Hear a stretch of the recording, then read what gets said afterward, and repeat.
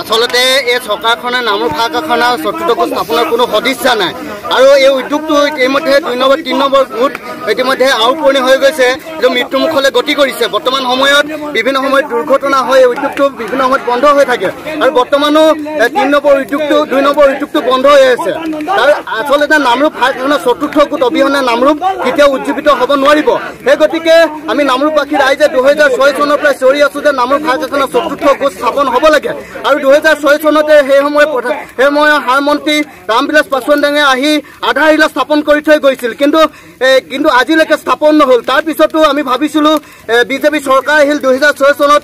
নৰেন্দ্ৰ মোদীৰ নেতৃত্বাধীন চৰকাৰখনে নামৰূপ ভাগ কাৰখানা চতুৰ্থ গোট স্থাপন হ'ব স্থাপন কৰিব বুলি আমি ভাবিছিলোঁ। কাৰণ এশদিনীয়া কাৰ্যসূচী নৰেন্দ্ৰ মোদীৰ এশদিনীয়া কাৰ্যসূচীত এই বিষয়টো অন্তৰ্ভুক্ত হৈছিল।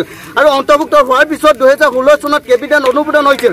অনুমোদন হোৱাৰ পিছতো আজিলৈকে নামৰূপ ভাগ কাৰখানা চতুৰ্থ গোট স্থাপন নহ'ল। আমি ভাবিছোঁ যে এই চৰকাৰখনে কেৱল ৰাজনীতি কৰিছে আৰু নামৰূপ ভাগ কাৰখানাক লৈ নিৰ্বাচনী বৈতৰণি পাৰ কৰিবৰ কাৰণে ব্যৱহাৰ কৰি আহিছে।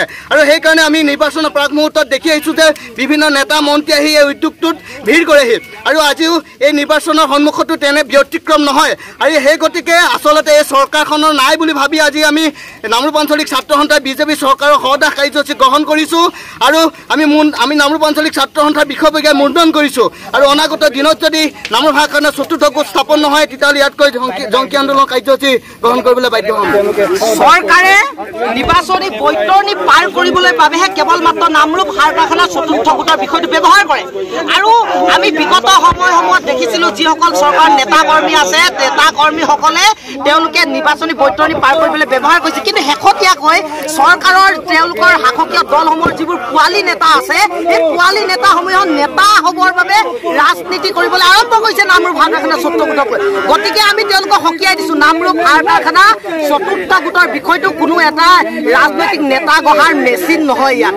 গতিকে তেওঁলোকে এনেকুৱা সপোন দেখি ইয়াত লাভ নাই। তেওঁলোকে আমাৰ যিটো আমাৰ আশা আকাংক্ষা আমাৰ আৱেগ তাক পূৰ কৰিব লাগিব। যদি চতুৰ্থ গোটৰ বিষয়টো যদি তেওঁলোকে আমাক আমাৰ যিটো ন্যায্য অধিকাৰ তেওঁলোকে প্ৰদান নকৰে তেনেহ'লে তেনেহ'লে দুহেজাৰ একৈছ চনত গণ প্ৰতিৰোধৰ ব্যৱস্থা আজিৰ পৰাই গণ প্ৰতিৰোধৰ ব্যৱস্থা আমি গ্ৰহণ কৰিম।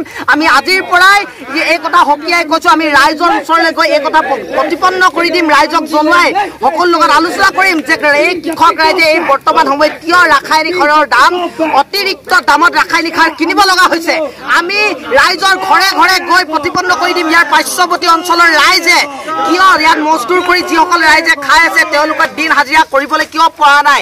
তেওঁলোকে কিয় নামৰূপ সাৰ কাৰখানাত আহি কাম কৰিবলৈ মজদুৰ কৰিবলৈ তেওঁলোকে সুবিধা পোৱা নাই? এই সমূহ বিষয় ৰাইজৰ মাজৰ আমি আলোচনাৰ বিষয় হিচাপে আমি ইয়াত ব্যৱস্থা গ্ৰহণ কৰিম আৰু এইটো গঢ়ি তুলিম। এই কথা কিন্তু আজি আমি ছাত্ৰ সন্থাৰ মজিয়াৰ পৰা সকীয়াই দিছোঁ চৰকাৰলৈ।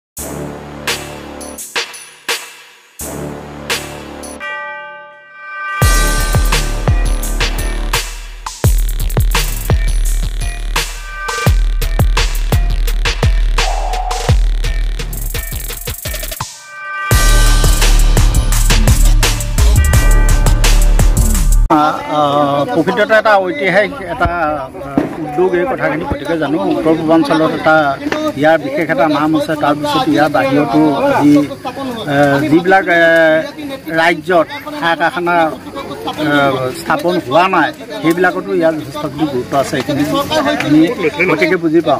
কিন্তু কথা হ'ল কি শূন্যময় উত্তৰ পূৰ্বাঞ্চলত আজিৰ তাৰিখত নামৰূপ সাৰ কাৰখানাটো এটা মুখ্য এটা কেমিকেল ইণ্ডাষ্ট্ৰী ৰাসায়নিক সাৰ কাৰখানা।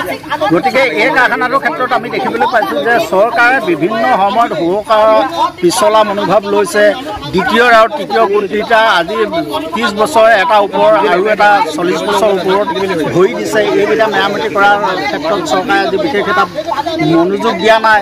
ইয়াৰ পিছতো এইকেইটা বদলি নামৰূপ চতুৰ্থ গোটটো স্থাপন কৰিম বুলি দুহেজাৰ ছয় চনতে ঘোষণা কৰিছিল সেইখিনি প্ৰত্যেকেই জানে। নাওৰ পৰা আজি প্ৰতিজন নাগৰিকে পুত্ৰ বৃদ্ধ বনিতাৰ পৰা আজিলৈকে ছাত্ৰ গোটলৈকে প্ৰত্যেকে জানে যে নামৰূপ সাৰ কাৰখানা দুহেজাৰ ছয় চনত স্থাপন হৈছিলে আজিলৈকে হোৱা নাই।